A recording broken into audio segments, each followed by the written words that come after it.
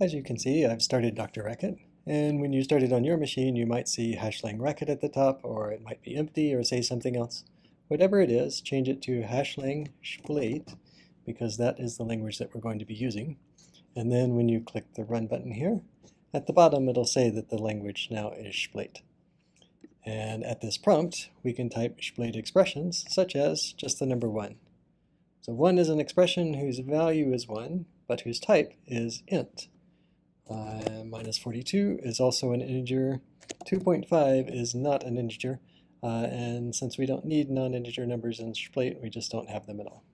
So you can't write 2.5. You could write uh, large numbers with underscores, though, like you might use commas, just to separate some numbers.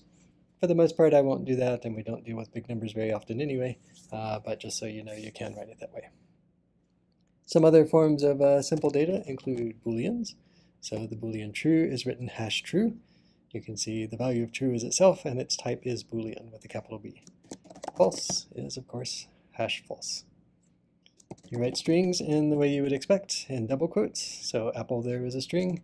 Of course, strings can have spaces and punctuation inside of them, uh, and that's all fine.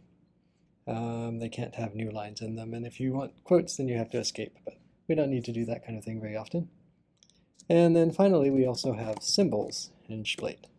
A symbol is sort of like a string in that it just is a sequence of characters, uh, but it's written with a hash quote, hash single quote at the front instead of in double quotes.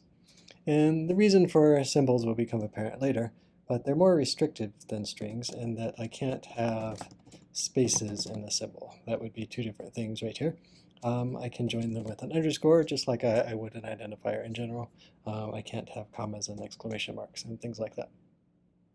Shplait has some other forms of basic data, but these are the ones that we need most of the time.